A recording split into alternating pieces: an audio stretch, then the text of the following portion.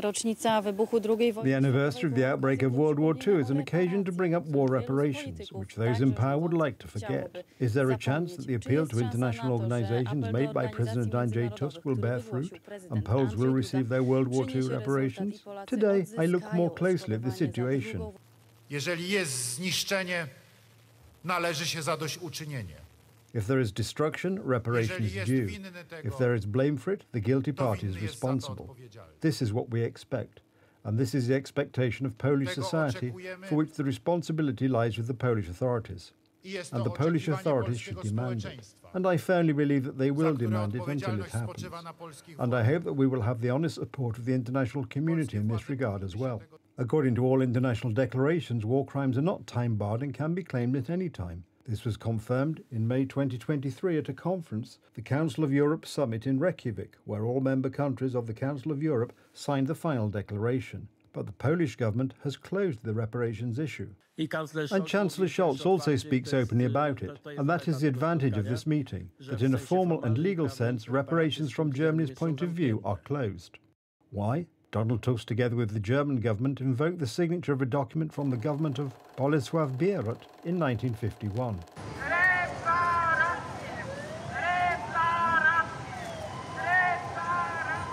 But Poles, although they have forgiven, have not forgotten the injustices. But forgiveness and acknowledgement of guilt is one thing, and reparations for damages is another. Reconciliation after war conflicts is possible only if the aggressor country pays war reparations to the victim country. Nacisk ma sens. I think that pressure always makes sense, and this pressure, if it is exerted for many years, if it is widely promoted as to what happened in Poland during World War II, what are justifications for reparation claims, compensation claims, it may have some effect. Please note that this is a process. In principle, the German public knows nothing about the course of World War II and the occupation of Polish lands. On the 1st of September 2022, a report on war losses was published. A diplomatic note was sent to the German government by the United Right government. The topic was also raised in international organizations. The President of the United States knows about the issue. The State Department knows. The head of all major international organizations also know about the matter. Ten temat musi być uregulowany w relacjach polsko-niemieckich. This topic must be settled in Polish German relations. The key is our pressure, domestic pressure, international pressure, that will lead in the future to the settlement of this issue in the form of an international agreement. However, the current government's political will to pursue reparations is not there. According to the War Loss Report, Germany owes Poland 6 trillion zloty. Edyta Hołdyńska, TV Republika.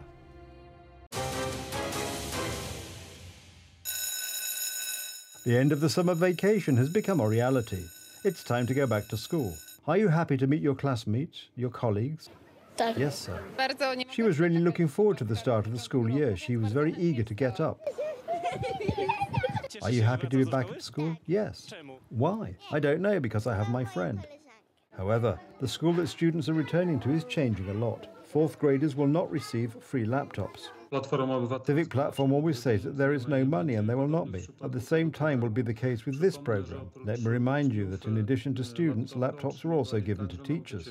Starting next school year, religion lessons will be reduced to one per week. And already this school year there will be combined lessons with children from different years and grades being combined into one class. A strong voice of opposition came from Mielec, where Education Minister Barbara Nowacka took part in the academy to start the school year. Several hundred people took part in the spontaneous protest. Zarugowanie reakcji religii. For the eradication of religious lessons from schools, for the fact that patriotic readings are being thrown out of schools, for the gradual ideologization, we say a firm no to this. Hierarchs of the Catholic Church, in a letter to the faithful, appeal for parents to react to attempts to secularize their children. What is needed is respect, respect for those values in which parents want to raise their children. This cannot be destroyed in any way. Nie zgadzamy się na indoktrynację w szkołach. We do not agree with indoctrination in schools, including all kinds of ideas of Minister Barbara Nowacka, who simply wants to influence our children. Wpływać na nasze, na nasze dzieci. Mamy dość. The Coalition to Save Polish School has submitted a petition to the Ministry of Education. It concerns, among other things, plan to introduce the compulsory subject health education into Polish schools. It assumes the elimination of the subject of upbringing for family life. Nie chcemy obowiązkowej We do not want compulsory sex education under the guise of health education in Polish schools. Education Minister Barbara Nowacka doesn't listen to the voices of protest and the wishes of students. I wish you enthusiasm, curiosity about the world, and perseverance in acquiring knowledge. Indeed, a lot of perseverance will be needed because the Ministry decided at the end of June to reduce the core curriculum by 20%. On top of that, the list of compulsory reading will be changed. Books such as In Desert and Wilderness by Henryk Sienkiewicz and Death of a Colonel by Adam Mickiewicz will disappear from it. Pan Tadeusz will be read by students in fragments only. Unfortunately, Donald Tusk has given education to leftist radicals. There will also be some new things. What kind of things? A Polish German history textbook.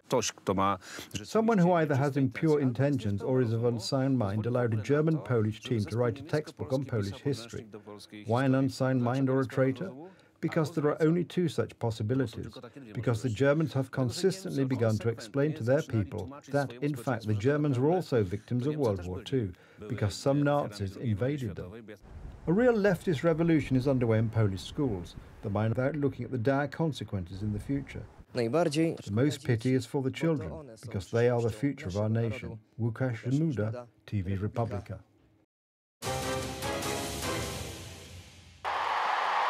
It's just over two months until the presidential election, and America is divided. Be here to show my support. Trump is.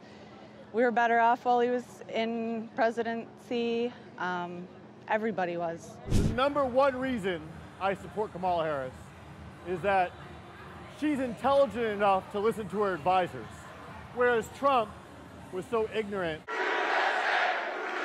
Well, thank you very much. But it is Donald Trump who talks about the issues that are important to Americans, while Kamala Harris says very little. It's much easier to be a Democrat, let me put it that way. Apparently, if, you don't have to were, take any interviews. That's right. You don't have to. You don't have to do anything. We saw that the other night, and you won't see too many more interviews. And I have a debate coming up with this one, and she didn't. She didn't want a debate.